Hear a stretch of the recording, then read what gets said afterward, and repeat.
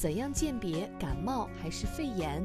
如闻医生特邀专家陈天军，西安交通大学第一附属医院呼吸与危重症医学科副主任医师。感冒呢，它属于一个我们叫做上呼吸道感染；肺炎呢，就是我们经常说的已经到了下呼吸道。感冒的症状最多见，我们平时说咳嗽呀，然后呢乏力、咽痛等等。如果肺炎的情况呢，我们可能会更更重的有咳嗽、咳痰、胸闷气短、胸痛。以及我们说的高热这些情况来进行初步的一些症症状学的鉴别。如果说我们进行相关的，比如说我们病人的咳嗽咳痰量比较多，然后胸闷气短，包括有胸痛，然后我们常规的治疗口服药物治疗，比如三到五天之后症状没有好转，还在逐渐的加重，而且症状会越来越重的时候，就是需要及时到医院去就诊。比如说我们要相关的要查一些血里边的生化指标。和血常规，以及我们必要时候还要拍一些胸部影像学的资料，比如说胸部的正侧位胸片或者胸部的 CT